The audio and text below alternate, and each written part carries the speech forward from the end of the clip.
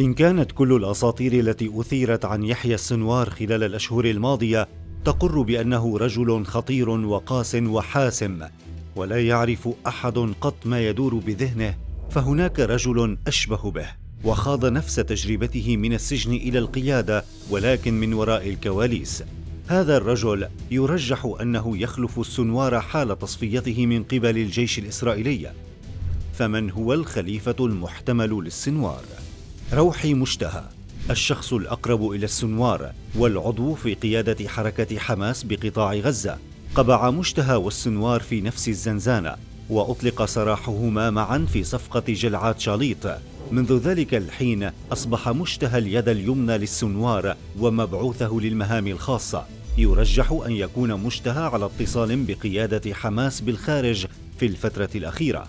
وكل هذا في الوقت الذي ظلت فيه إسرائيل تشيع بأنها اغتالته إلى أن تبين أن الرجل يقبع بحي الرمال في غزة.